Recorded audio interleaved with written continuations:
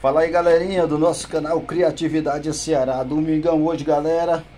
Eu na presença da minha filha Isabela E nosso almoço hoje aquela verdadeira delícia. O Nascimento tá, hoje tá com preguiça de fazer comida. Então comprou esse franguinho lindo aí ó Pra vocês verem aí ó.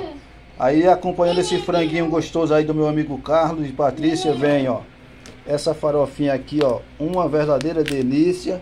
O arrozinho já tá aqui feito pelo Nascimento e um feijãozinho aqui, ó, com linguiça, temperado com coentro, cheiro verde, uma verdadeira delícia, galera. Gostou do vídeo? Aquele like, se inscreve, comenta, compartilha. Esse aqui é o almoço do nascimento hoje. Tamo junto.